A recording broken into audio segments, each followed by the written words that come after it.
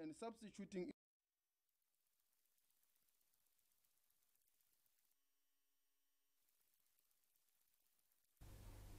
A request for mutual legal assistance was received from Botswana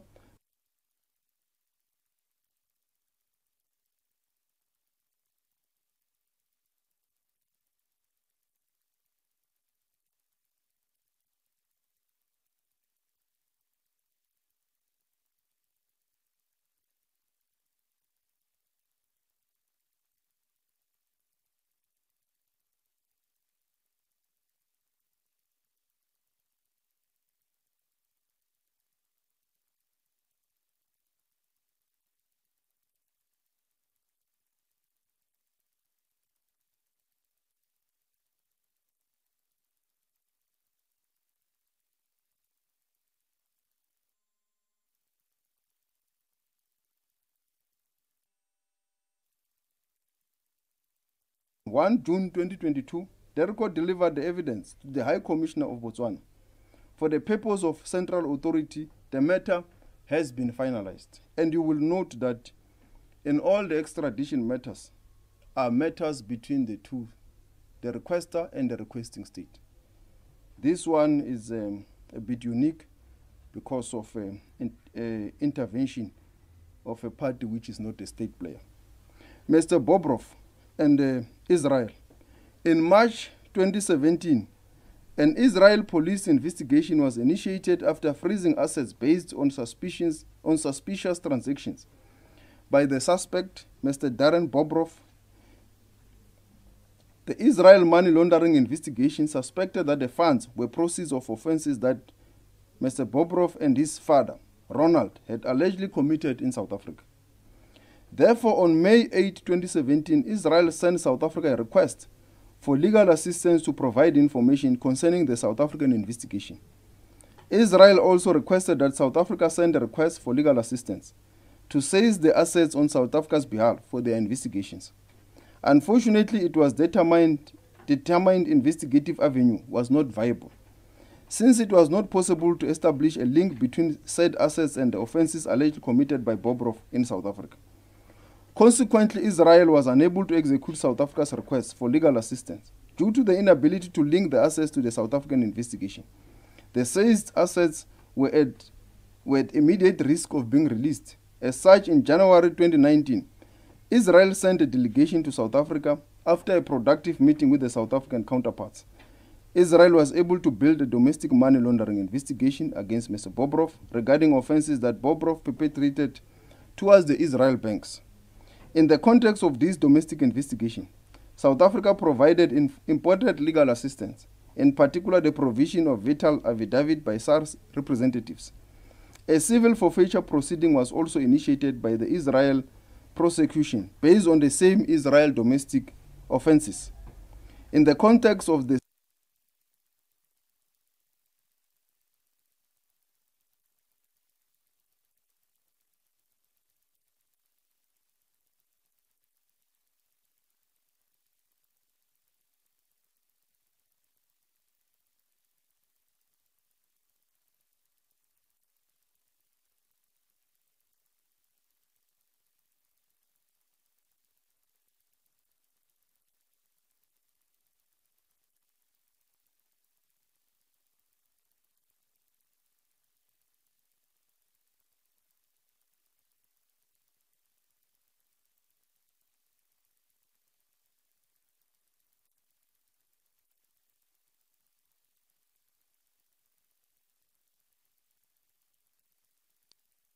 Africa indicated to the NPA that they intend to petition the Constitutional Court to stop the process. Pleadings are currently being exchanged and the court date is yet to be determined. The Nor de Ver matter, Namibia, uh, known here in South Africa as the matter related to Phala Phala. The request which the Department of Justice and Constitutional Development received from the Republic of, of, of, of Namibia did not specifically in relation to Mr. David Imam Imanuwela, only as intimidated by our sister nation's police force. It is not correct that there was no response from South Africa. on the request of mutual legal assistance in the case involving Mr. David Imanuwela. The Central Authority of the Republic of South Africa has transmitted correspondence through diplomatic channels to set the record straight with the Namibian authorities. During September 2020, the Department of International Relations and Co- Cooperation forwarded a note verbal from the High Commissioner from the Republic of Namibia and attached thereto a request for mutual legal assistance dated 13 August 2020 by the authorities in Namibia to the Department of Justice in South Africa. In the request, the authorities in Namibia requested assistance from South Africa in a criminal investigation relating to the contravention of Section 456 of the Prevention of Organized Crime Act 2004 of Namibia. The request was first referred to the Special Commercial Crimes Unit of the National Prosecuting Authority to ensure that the request does not involve um, foreign bribery. As South Africa acceded to the OECD organized Organization for Economic Cooperation and Development Convention Against Bribery of Public Officials in International Business Transactions, the Bribery Convention during 2007. The request was thereafter returned to the department by the SCCU with the recommendation that the request be processed. The matter was allocated to an official within the Chief Directorate, International Legal Relations, to process the request. The request was perused and found that it did not comply with the provisions of International Cooperation in Criminal Matters Act of 1996. The request could therefore not be processed at that stage. The request was returned to DIRCO on 18 May 2021, accompanied by a letter indicating to the authorities in Namibia how the request should be amended to enable South Africa to render the necessary assistance. On 31 August 2021, DIRCO sent an electronic note verbal to the High Commissioner of the Republic of Namibia, highlighting the feedback from the department and requesting the authorities to amend the request. On 1 September 2021, the High Commissioner of the Republic of Namibia acknowledged receipt of the note verbal. Since then, the authorities in Namibia have not sent an amended request back to the Republic of South Africa. The Chief Directorate International Relations and, and Legal was previously requested to confirm whether a request for mutual legal assistance relating to Mr. David Imanuwela had been received from the authorities in Namibia. As per the press statement, the request could not be located as the file was opened under a different name. The request related to an investigation of docket Nordever, Nordever, CR 14 June of 2020, in which Mr. David was one of the three suspects. The other two suspects are Messias Petras Afrikaner and Eric Chikango. So, because of this name, the request could not be located by the officials. On 16 June 2022, the Inspector General of the Namibian Police Force released a press statement which detailed, amongst others, a meeting between the police authorities of South Africa and Namibia where a certain operational information was allegedly shared on Mr. David and other Namibian nationals suspected of having stolen money from South Africa and fled to Namibia. And um, it is then that we receive lots of questions. The Central Authority received lots of questions about this matter. And um, as I've said, it could not be located at the time because the name in which it was registered in the department is different from the one that appeared in the press release. At this point, the central authority is still awaiting the amended request from the authorities in Namibia. Thank you very much.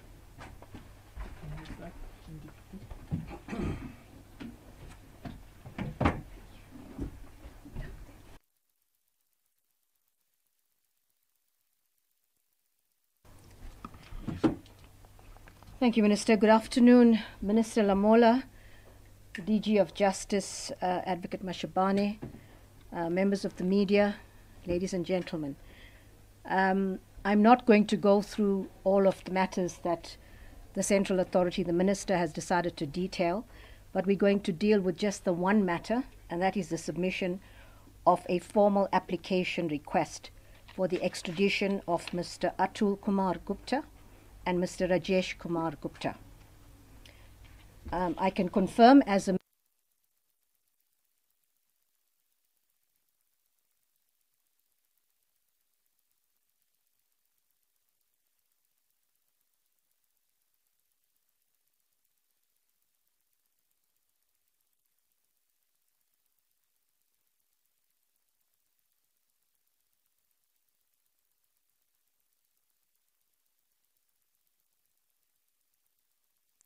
August 2022.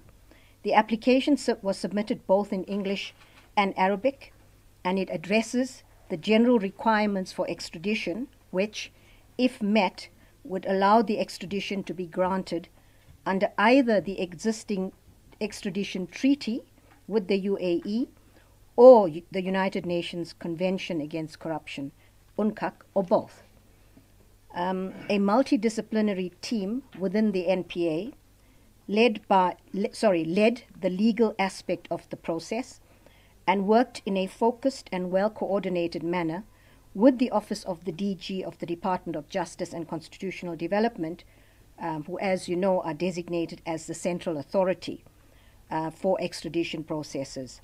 And so they worked together to prepare and finalize the, um, the application. This work included consultation with legal counsel and some team members meeting their counterparts in the UAE early this month to ensure that the request for extradition met all the requirements of the bilateral treaty, that it was in accordance with the UAE domestic laws and requirements, and to build trust with relevant law enforcement partners. The NPA team in close collaboration with the Office of the Central Authority, the, Depart- uh, the Director General of Justice, worked relentlessly um, on complying with legal requirements of the extradition treaty and UNCAC.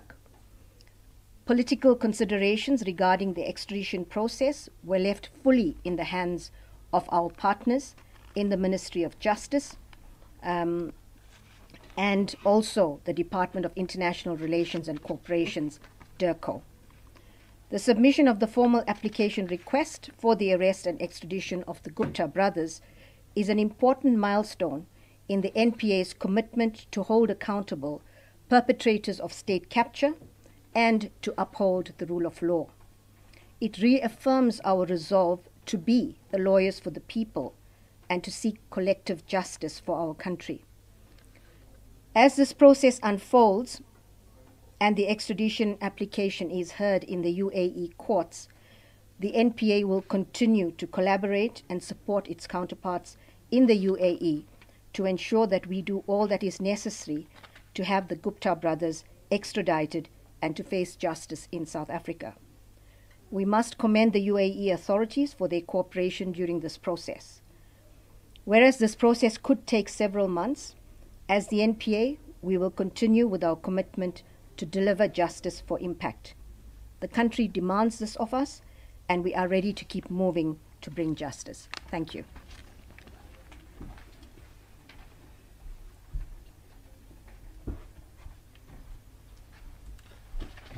Thank you very much, NDPP and Minister. Colleagues, we'll now open for a round of questions. We'll start with our colleagues who are in the press room with us here. Um, we'll take five hands and we'll note all of your questions and then Minister will be assisted to respond to the questions by the Central Authority, the Director General, where possible. Okay, let's start at the back. Nkosikona Duma, um, sister from SABC, Erin and Karen, in that order. Um, good afternoon, Minister. My name is Boskona Duma. I'm from IUS. I just have one question now, and it has do the Gupta brothers. Um, the Director of Public Prosecutions has just said uh, the process for extradition could take several months. Uh, perhaps could we get some clarity as to how many months are we looking at, and also um, what will be happening in the interim before we hear an outcome of that extradition application?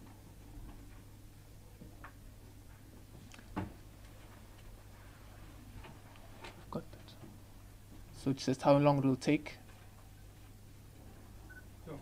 Yes, exactly. And And processes in the interim while we're waiting. What, what should happen? okay, thank you, Assistant. My name is Nomsa Maseko from uh, BBC News. Um, Minister, I'd like to know, it is expected that the Guptas are, are going to fight this extradition and they are possibly going to claim hardship if they are jailed in South Africa. And given the reputation that South African prisons have internationally, how will you ensure that they are successfully brought into the country to face justice? And secondly, what is the current state of um, the Guptas um, where they're concerned? We understand that they have been remanded in local um, custody in the UAE after they were transferred from police cells. What I would like to know is did they apply for bail in the interim um, in the UAE and was it denied as far as you know? Okay, so there are three questions there. Let's just just highlight them again for us. So it would be, given the reputation that South African prisons have internationally, case in point, One, what is it that the South African government is going to do to ensure that um, the Guptas are, are success- successfully brought into the country? Secondly, um, it, it's about w- where, what the process is now with the Guptas. Are they in, uh, in, in prison cells in the UAE? Did they apply for bail? Was it denied? Okay, so it's prison conditions, um, and and uh, have have they applied for bail? What is their current status? Um, Erin and Karen.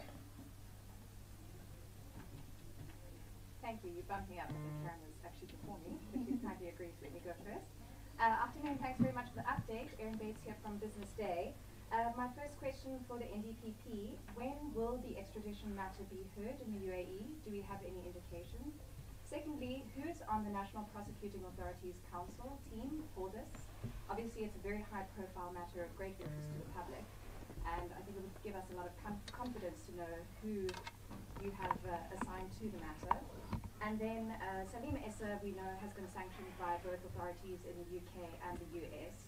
There is a plethora of evidence against him in the Zondo Commission's findings and also its body of evidence for its work. Is there any effort to try and have him extradited too? And uh, are you working on a case against him? And then finally, you have promised the country, I think it's nine seminal cases on state capture by September.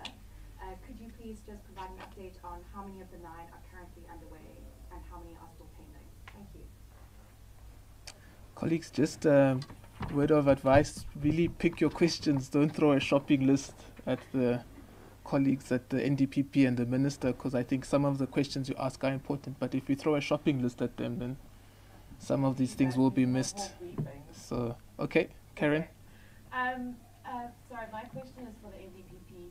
Um, the statement says that the Guptas, as I understand it, are being extradite, extradited for both Nulane and Estina. But as far as I know, the Estina matter that is in court against Thabethe makes no mention of the Gupta brothers. Given that the um, extradition agreement with the UAE explicitly states that these have to be matters that are before the courts and people have to be charged, can you please provide us with the charge sheet and the further particulars um, in that matter? Um, and then just in relation to um, the process itself, are you confident that if you do get an extradition from the UAE authorities, because they seem extremely positive, there seems to be massive political will from them in regards to this, that the NPA will be able to mount a case that results in their conviction? Because as I'm sure you're aware, in the Nulane matter, which is currently before the courts, their lawyers are saying that the case against them is non-existent, and they're actually bringing litigation to have it thrown out. So if that happens, what will the implications be for the NPA? And then lastly, in the Nulane matter, when the NPA sought red notices, they sought them for the Gupta's wives as well, on the basis that they were directors of Islandsite. And Islandsite, of course, is a pivotal accused in this matter. Have you abandoned efforts to seek the extradition of the wives? Because the case materially against the wives is very much the same case that is made against the husbands.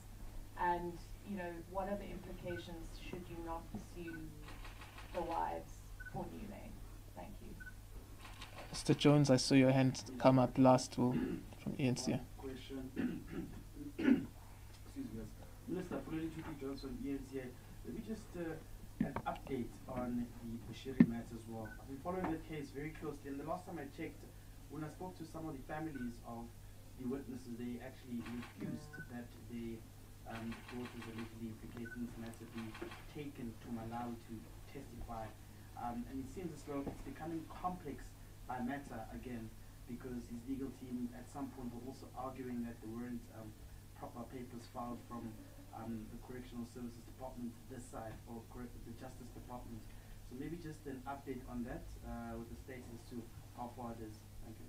No, Pule, specify what exactly is your question? Update. But we provided that update in the statement. No, but there seems to be confusion because the legal team are arguing that the department this side hasn't filed proper papers, and there's also another matter with the witnesses having to go to Malawi as well. Okay. Maybe the names confused him. Yeah, Shipiliro Gama. Oh, Oh, okay. Um, okay, we've heard all the questions. I think NDPP, if you are ready, you can come, followed by the central authority if there's anything that you'd like to clarify, and then the minister. Well, do these ones work here? Should I come there? Uh, You have to come here. Oh, okay, right.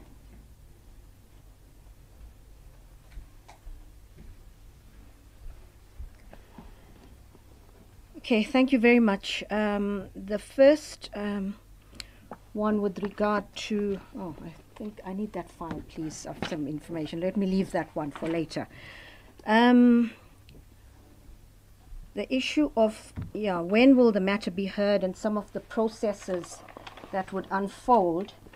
Um, what we can say in that regard is that the matter will be placed before what is referred to as an appeal court in the UAE. Um, we advise that the, the judges actually work on, on a checklist and, and look to ensure that we've complied. The requesting state complies with all the requirements. Um, in approximately 30 days after this appeal court procedure, the matter is then taken to a Supreme Court, um, and thereafter the Attorney General will submit the matter to the Minister of Justice in the UAE for the final decision. So, you know, we cannot give exact uh, timeline. That's about as, as far as we can go. But we understand that it could take uh, a couple of months uh, to finalize.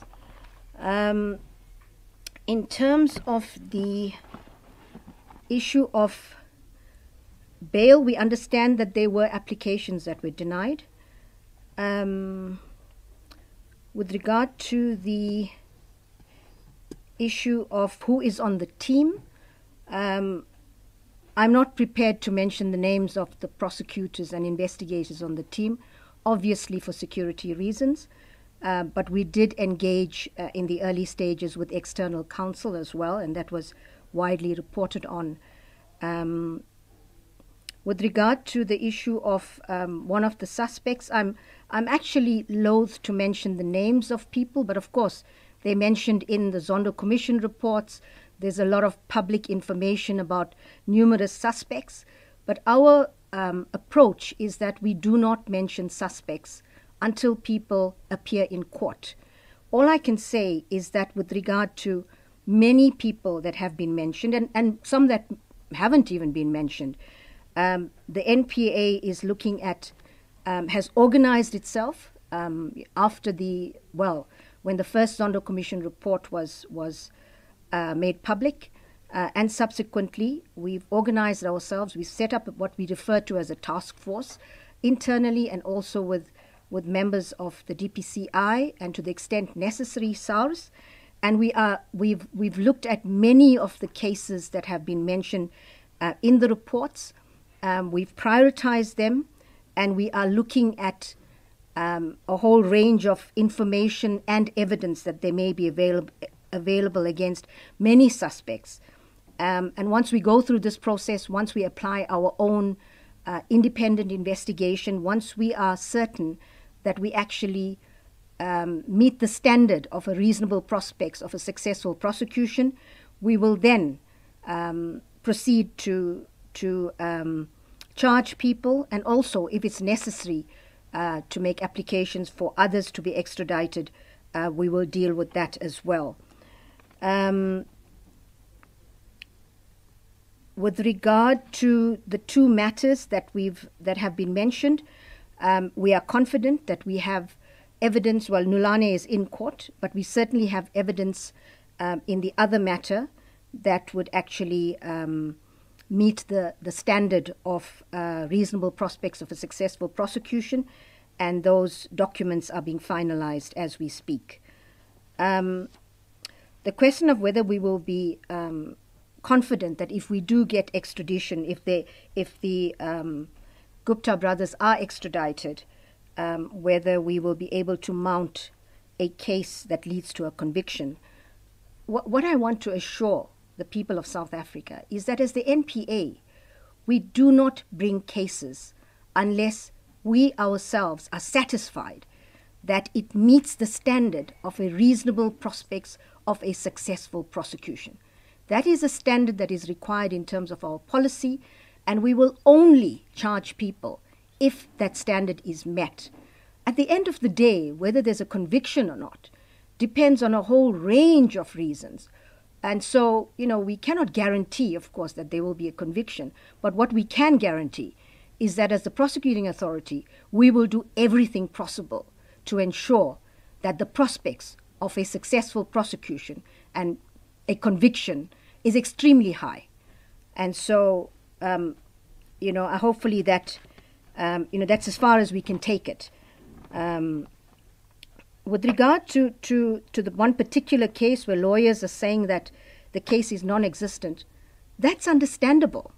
that is the role of some defense lawyers to try to create the impression that there's no case. But we expect that. And as long as we know in the NPA that we meet that standard, we cannot be sidetracked by comments that are made by defense lawyers, and we will also not be drawn into litigating matters in the in, in the public space. And so often when these comments are made, you'll find that the NPA is not responding. It's not because we can't respond. It's because we will simply not be drawn into, as I say, litigation in the public space. Um, with regard to, to the wives of, of, of the two um, Gupta brothers, um, that matter is under consideration by the ID. I think there's one other question, but I'm going to hand over to the ID, sorry, to the minister, and then come back with the one question because I just want to find the information. Thank you, Minister.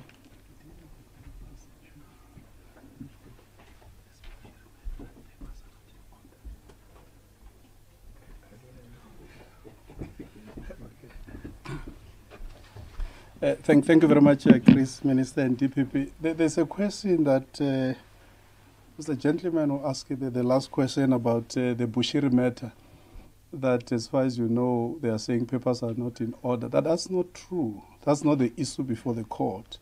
The issue before the court currently is about uh, South African witnesses, whether they should travel to Malawi to testify or make disposition from here. So what the NDPP in Malawi did on, on our behalf is to make an application to have the matter moved from the magistrate court to high court so that they can make an application that witnesses in South Africa don't have to travel to Malawi to testify on the extradition proceedings. They can make statements here in a competent South African court or testify virtually if needs be. So, so the question of the filing of the papers is, is not an issue papers are in order. I needed to clarify that. Thank you very much.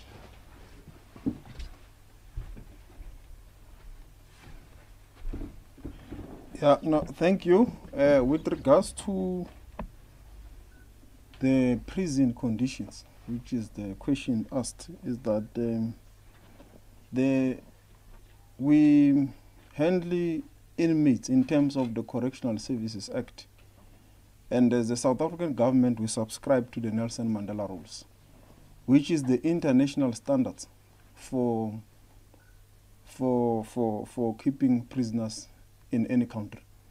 So we are international compliant in terms of the UN conventions, and um, our facilities are of um, a standard that um, is universally accepted. Um, and um, the standard of um, of any prison is guided by the by the Nelson Mandela rules, as I've said, which were adopted by the United Nations. So they are of a condition that is in terms of the of the rules.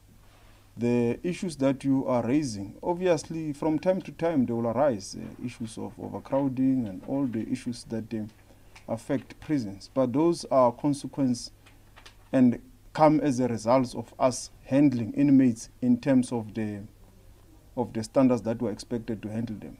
Um, from time to time, those challenges will arise, but we handle them, we deal with them, and our prisons are compliant with the international standards. So we are convinced that uh, there is um, there will be no case on the basis of the conditions of our prisons.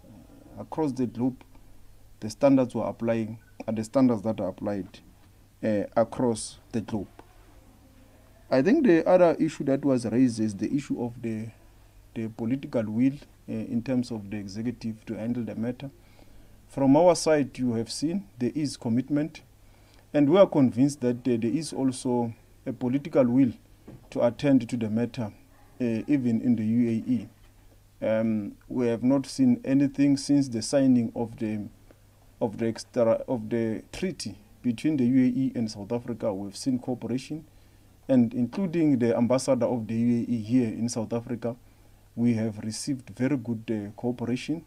And um, even our ambassador of South Africa in the UAE, he has also told us that he is receiving very good cooperation from the authorities in the UAE. And um, I think that is the reason why um, he could also facilitate the meetings that the NBP spoke about between the prosecutors of the two um, um, sovereign states to be able to be uh, to meet to deal with technical issues. And is because of that diplomatic mutual friendly relations between the the two countries. Thank you Okay, then I'll do it. and then we'll come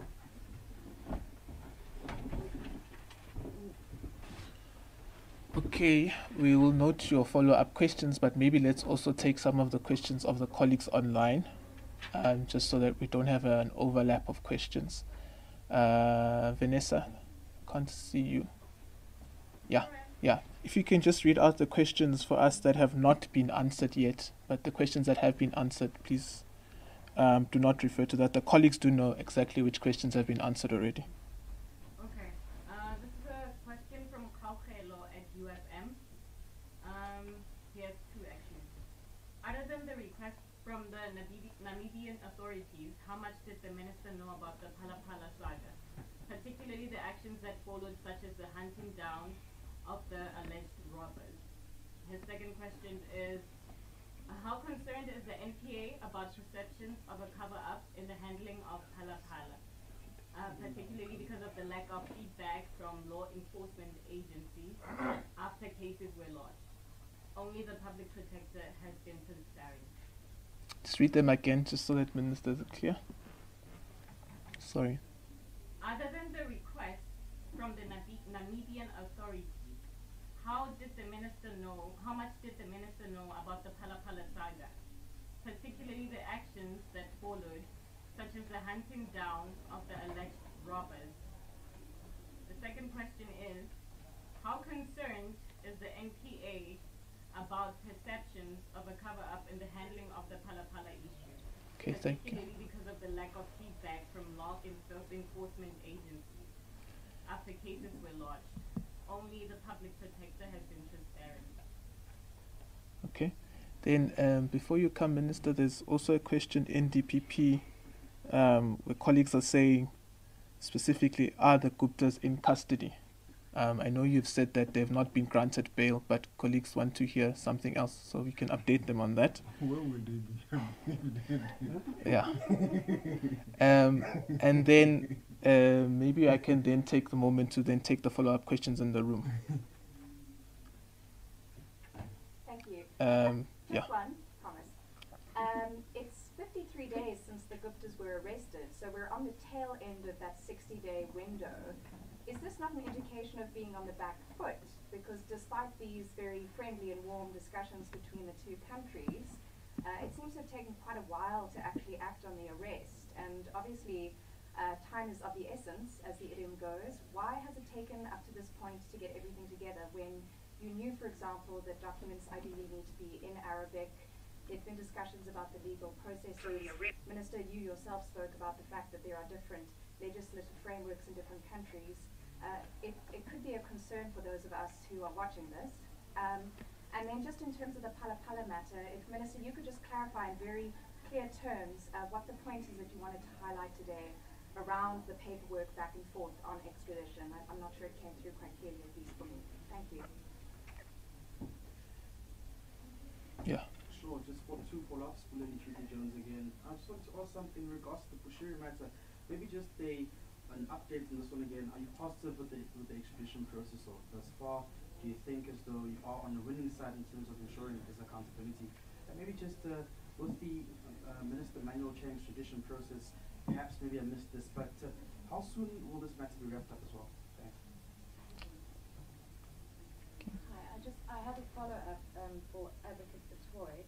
Um, in the terms, under the terms of the UAE South Africa extradition agreement, it says the parties agree to extradite each other pursuant to the provisions of this tre- treaty, etc., etc. Um, persons whom the authority in the requesting party have charged with or convicted of an extraditable offence. The treaty also demands that in circumstances uh, of a person accused of an offence, the requester shall be accompanied by an original certified true copy of the warrant of arrest and the charging document issued in the requesting party where the request is emanated from. So I, I'm just curious, in circumstances, because it does appear that while the NPA may have the intention to charge the Guptas in relation to Estina, you haven't actually done so. Is that not a concern? Because the provisions of this treaty make it explicitly clear that you can't charge on case, uh, you can't seek extraditions on matters that you haven't charged people with. Okay, uh, NDPP, whilst you write that down, there's another question in our media WhatsApp group. Maybe this can be for the central authority directly. Um, is there an extradition request in relation to President Khama? Um, and then there's another question as well uh, on the security concerns, NDPP. Um, this is from Amanda Watson. Um, and she's saying, What are the security concerns around the team assigned to the Gupta extradition? Have they been threatened and by whom? Okay. maybe the DG. Yeah, maybe DG.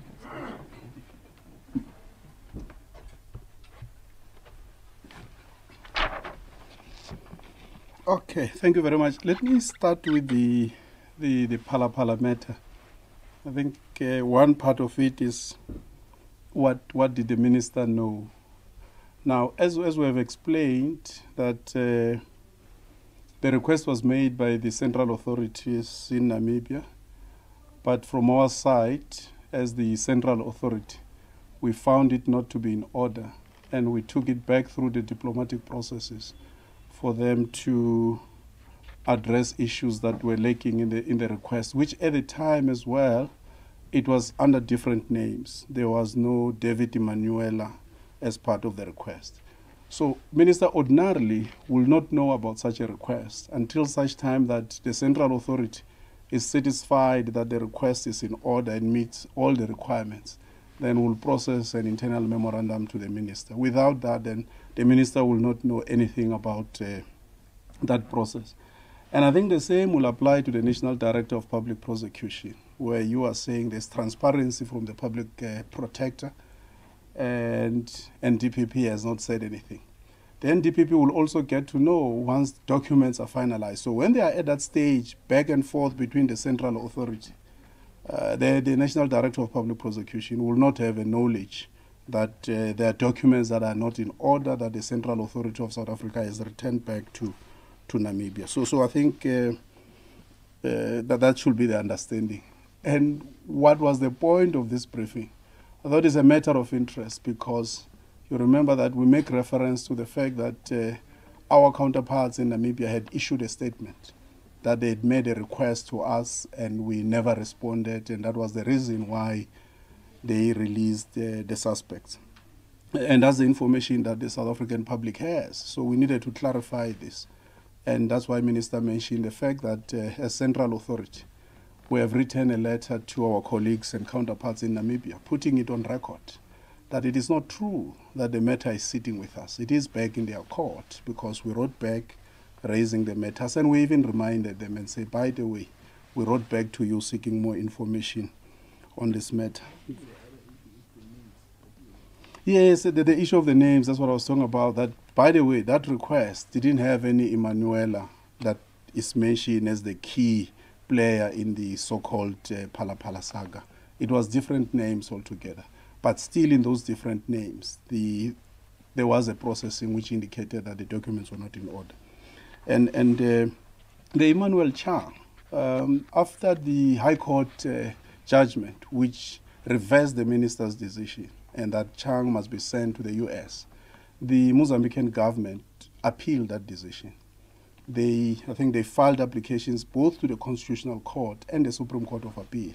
And you know, last month the ConCourt uh, uh, dismissed the matter, they did not admit it. So what is left now is for the Supreme Court of Appeal to to set a date for a hearing for the appeal. So that's where it is until a, I mean, the Supreme Court of Appeal uh, takes a decision on that appeal, it means there's not much that can happen. Lastly, the an extradition request for President Khama, we have not yet received it.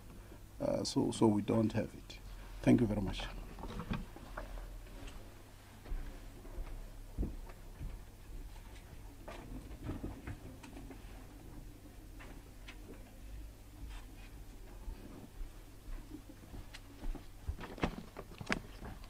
Thank you. Before I get to the specific of the nine seminal cases that we mentioned, just to, to mention some of the figures from our annual report from last year.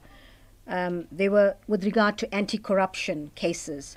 There were 380 cases that were finalized in the Specialized Commercial Crime Unit, the courts, with a verdict, uh, with a 90.5% conviction rate, which was 73 more than the previous year.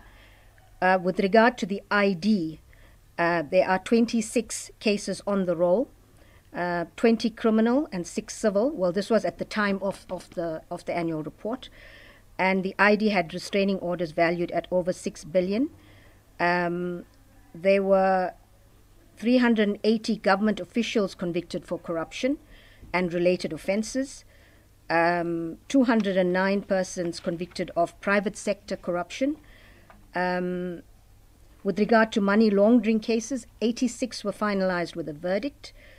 Um, with regard to um, asset uh, forfeiture, um, there are 370 completed confiscation and forfeiture orders, estimated value at 406 million, and the number of freezing orders uh, estimated at 5.5 billion. We, we accept that there's a lot more work to do, and we're certainly working very, very hard on this. Um, we are we are ensuring that all the cases have the necessary resources. Um, we've had good uh, support uh, from the Department of Justice. We're working very, very well. Um, the ID is working extremely well now with relevant stakeholders. Um, and so, this enhanced collaboration and ensuring that there's sufficient but also dedicated resources with regard to the matters, particularly um, emanating from state capture reports and also those not mentioned there. So that is critical in the sense of dedicated resources in the ID space, in the DPCI space, as well as in the specialized commercial crime unit space, as well as asset forfeiture um, in the NPA.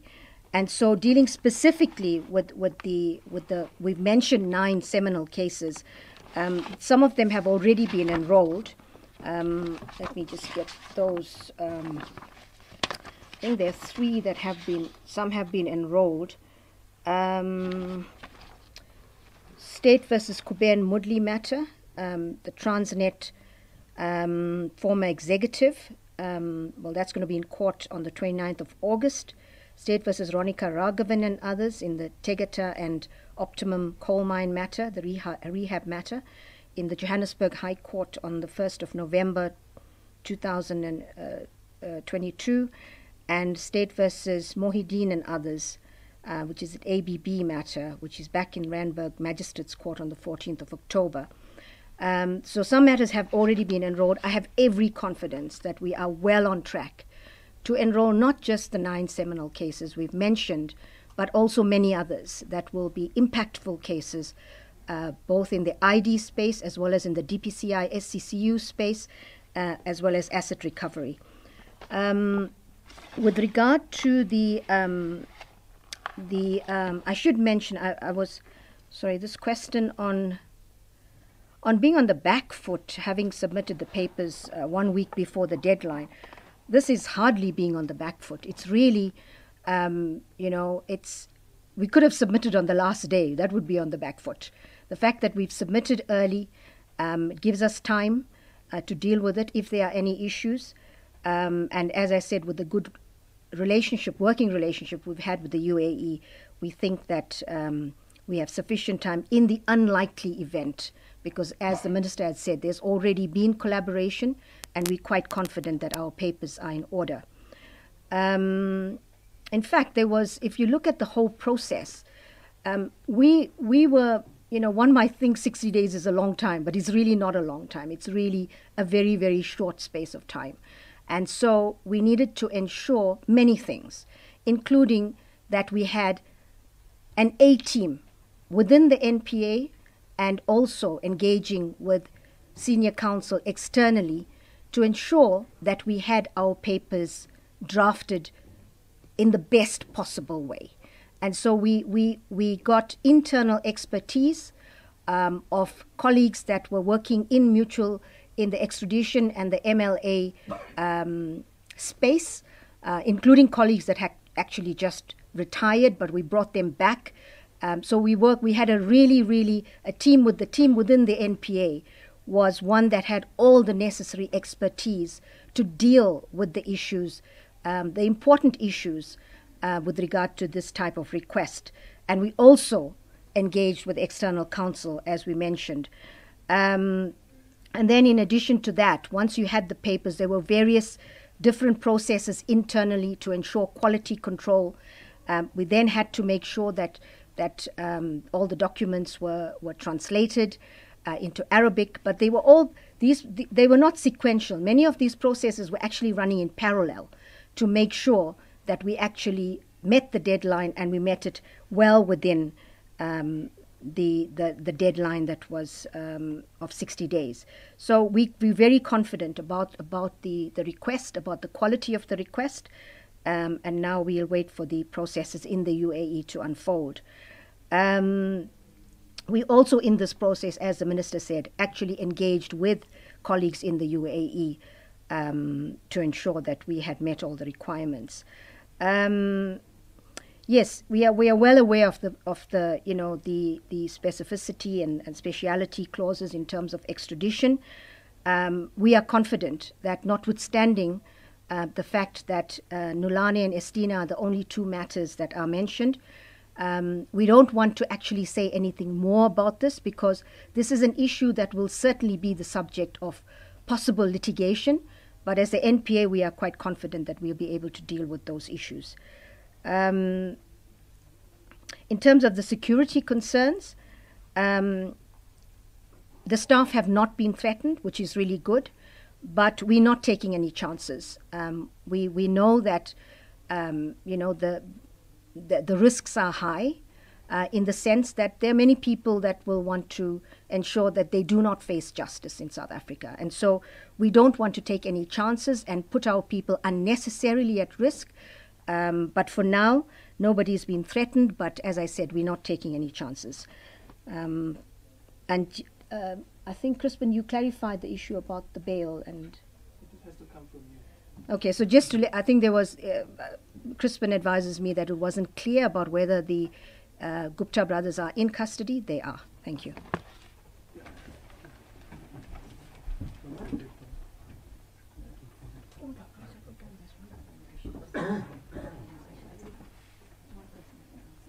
Yeah, no, thank you. The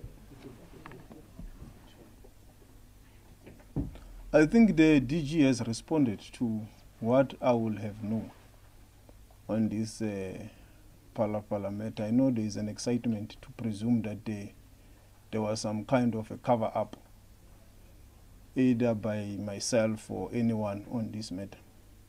But uh, the DG has explained that how the process works is that it will be the official who received the request, who knows, in the central authority.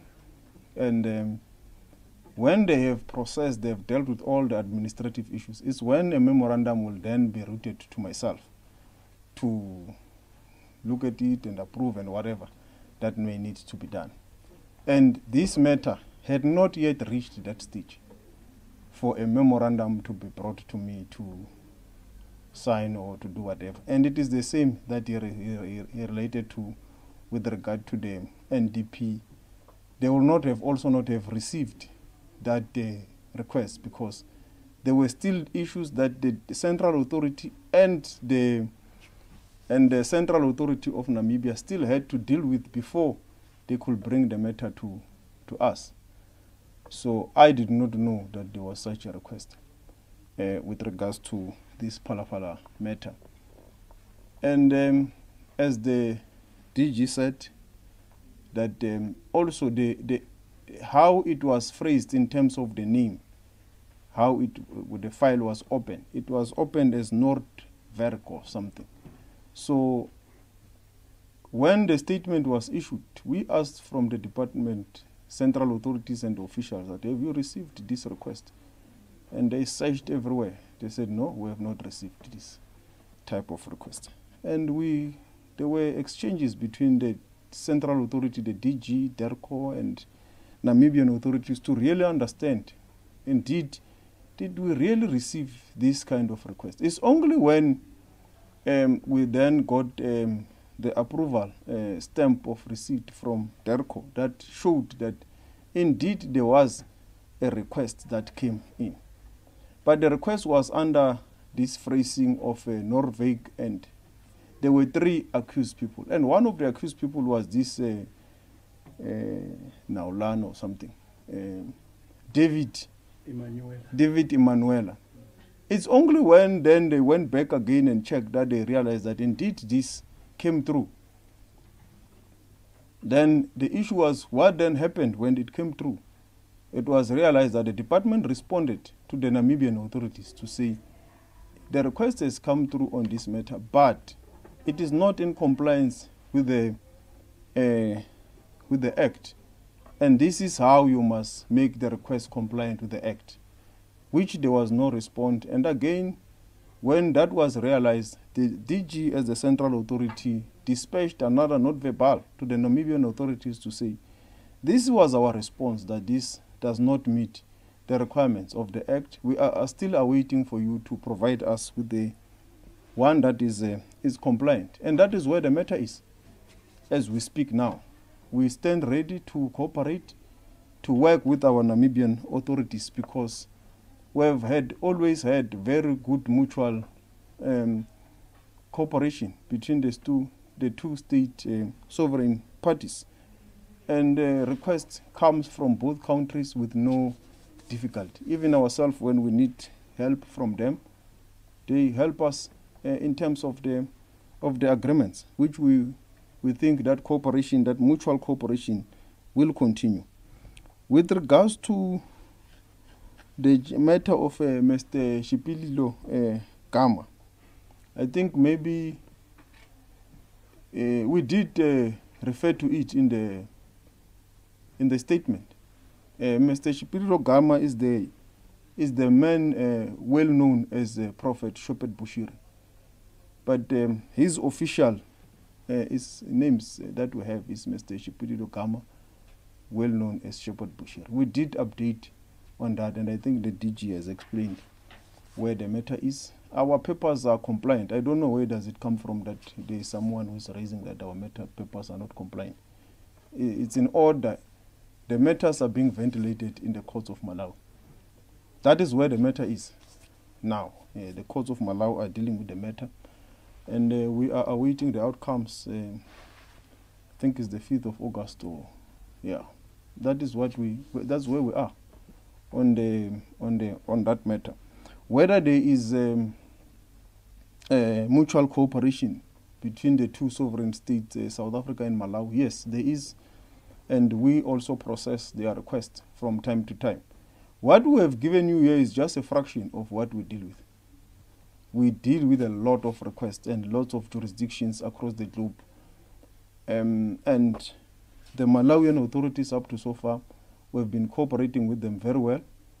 And um, I do think that um, even the courts of Malawi, up to so far, have handled the matter uh, very well. Um, they've proven their independency the, the matter is being ventilated because Malawi is also using our kind of a common law system. And um, up to so far, we think that the matter is receiving the necessary attention. But um, that does not take away from the reality that extradition matters, and this cut across, even the one which is in the UAE, can by their very nature be um, protracted because there could be protracted legal processes in any extradition matter. If you look at the one of the Netherlands that I gave you an update on, it's a very old matter since 2002. We are still in court, even now, exchanging documents and all that. So extradition by its nature can be a legal, can be a protracted legal process. But um, from our side as the central authority, we stand ready to take um, any legal a challenge in any part of the world. And that is what is currently happening in Malawi. And we stand ready with regards to the UAE to take any legal challenge that may arise. We believe that the, um, there are grounds in terms of the treaty and in terms of the Extradition Act for us to stand and for our request to withstand any scrutiny in any jurisdiction in the world in line with the United Nations uh, Convention. Thank you.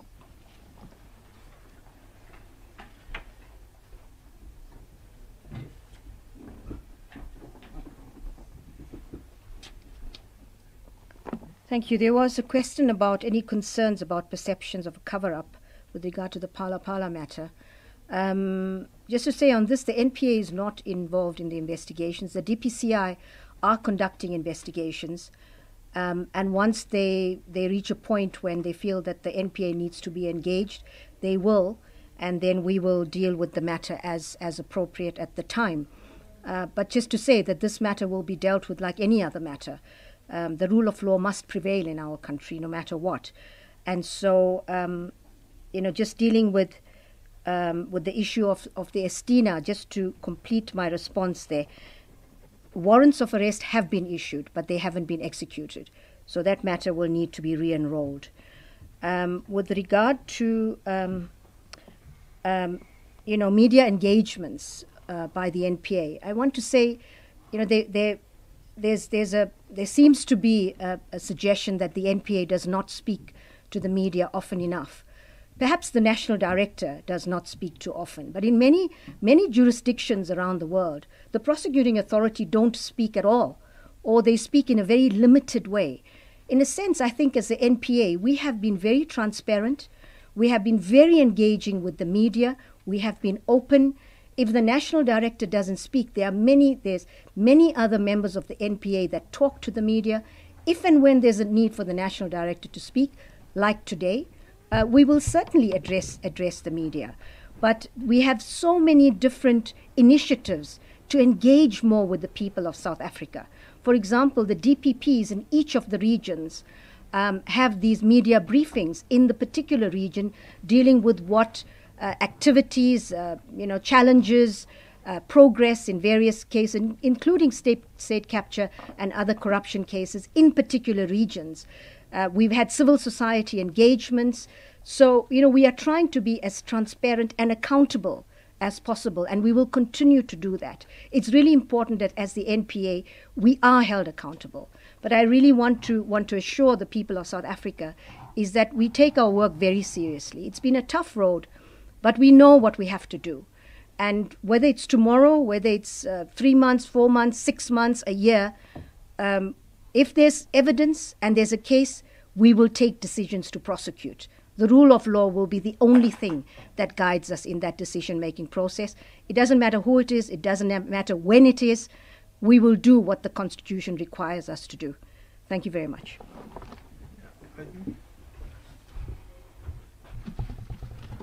There's one issue that um, I forgot to, to, to address earlier on. Is this issue that uh, as the central authority, we are on a back foot also with the, the NPA on submission of the extradition request. Is that um, if a reasonable period of submitting an extradition request in the view of the two central authorities and the two countries was an hour after an arrest or five days after an arrest, we will have put it in the treaty. It will have been in the treaty uh, governing South Africa and the UAE that uh, when you want to arrest anyone, there must already be an indictment, a warrant of arrest, the extradition request and papers must be ready that when this person is arrested, an hour after he's arrested, you must submit the extradition request. I think that is an unreasonable uh, proposition and conclusion because there was a reason why the 60 days period was put in the extradition treaty to give both parties an opportunity. Uh, you might be having the charges, the indictment ready, and everything, but the legal processes of the two countries are different. And when you have got uh, an extradition request in this light, particularly the one that we're dealing with of the UAE, unlike the one in Malawi, by the time the NPA drafted the whatever and the central authority had to request, we knew that uh, Mr. Gama is in Malawi. But this was done in terms of a red notice. These guys could have been arrested anyway. They could have been arrested in India. They could have been arrested in Kazakhstan. They could have been arrested in the United States of America. They could have been arrested in Zimbabwe or in Mozambique or in Ivory Coast or in France. So we did not know where they are. The red notice was given to all countries in the world which are members of Interpol. While there was some strong belief that they might be in the UAE, but there was no official confirmation that they are in the UAE. And also from time to time there will be rumors that they're in India, there will be rumor that they are in this other country. So we could not work on a rumor and uh, put an interpretation in Arabic on the basis of a rumor. Hence, after the arrest, it is then that you can then translate into whatever language. If they are in France, you can then engage with the French authorities that you have arrested our person. What are the requirements there in France? Here we have got a treaty, we know. But in terms of French interpretation, all those kind of technicalities, it's necessary that the authorities must engage on them. And this is what happened on this matter. The central authority had to engage uh, on the other issues that relates to the treaty and all that. The NPA and their counterparts, the authorities in the UAE, they also had to engage on their issues that relates to what they are dealing with, including the language, Arabic, and all, all those things. You can't do them in one hour or five in five days. So I think that the proposition is um, is unreasonable. So the 60 days, there is no big foot. And from our side, as the central authority, want to thank the officials who worked on the matter, the officials from Justice, and also the officials from the NPA. And uh, I also want to deal with this notion that we do not have the expertise to handle these extradition things. If you listened to me for that 30 minutes, all those matters are handled by officials from both the NPA and the Department of Justice, internally. We only engage external counsel just to confirm whether we are on the, you know, to also have a second opinion because you are also dealing with matters of uh, national interest. But the officials in the department have been excellent who are dealing with these matters, and even from the NPA. They also negotiated the treaty. They negotiated the extradition treaty. They negotiated um, that process up until we signed. So these are experts in the field. They've been there for many, many years. And they deal with many issues, as I said here. What I gave you uh, is just a fraction of what we deal with because we believe these are matters of national interest. But there is a lot of matters that on a day-to-day basis we deal with on this aspect. Thank you very much.